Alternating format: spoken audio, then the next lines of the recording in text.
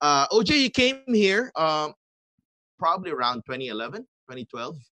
Mhm. You've been here 2011. for 2011, and uh, how how did that happen? Officially Because- 2012. yeah, but but how get how did you get discovered? Of course, your first club here was Kaya. Uh, how did how Yeah. did you move your move here happen? So I was a junior in high school, 16 years old, and um, at the time I was playing for DC United, and I was also doing some, you know, some pickup games, some indoor football games, and I was playing, and and some guy came up to me after the game. He said, "Are you Filipino?"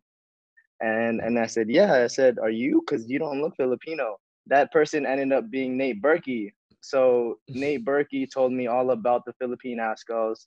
Um, he was already in contact with Anton del Rosario and Aly Borromeo, which I'm really grateful for.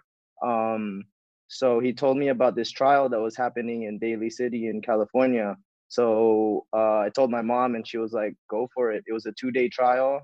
I had to stay with my um, my grandma's brother in Vallejo. So we did the two-day trial, and then on uh, the day I got back, they called me and they said they wanted me to come to the Philippines.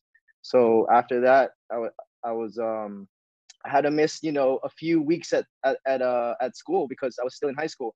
Uh, so I flew to Vallejo and then I, I I trialed, and they said yes. I went to the Philippines. I ended up going to the Philippines for about four months in 2011 uh, as a 16 year old, and I was still in school, so I was missing a lot of school. Um, and that basically it was how it happened. I went to the trial in Daly City. Anton and Aly were running the uh, the trial at the time, and they were the ones that uh, saw me first and told me to come to the Philippines. Wow. Uh, how how difficult was that though? Uh, leaving home so young, 16 years old, uh, moving to. Uh, it- it's not really a, a foreign country because you know uh, you're you're you're you're also from here. But, Yeah, Uh, you know your your whole family is in the states, and then you go here uh, all alone. yeah. Um, you know, for me, it was actually I was more excited than anything. You know, to play for the Philippines. Like I didn't even know the Philippines had a national team. So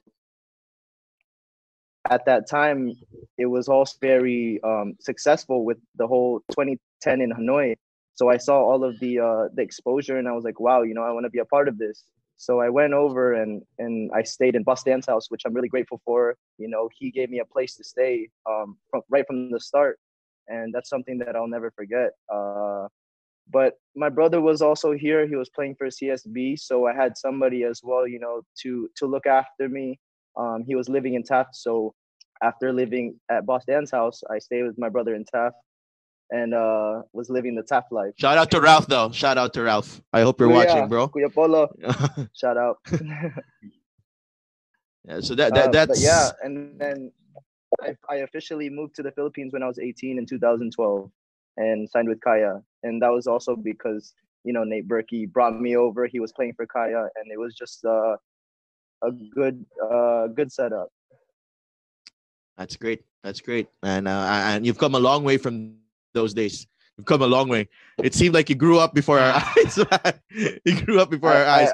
you know, I was I was talking to my girlfriend Kathleen and I was like, you know, it's crazy. I left when I was 16 and I basically just grew up here in the Philippines. Yeah. At, at, at least though, Tita Jocelyn comes over once in a while, and with you some up goodies dr- and some with some goodies. yeah.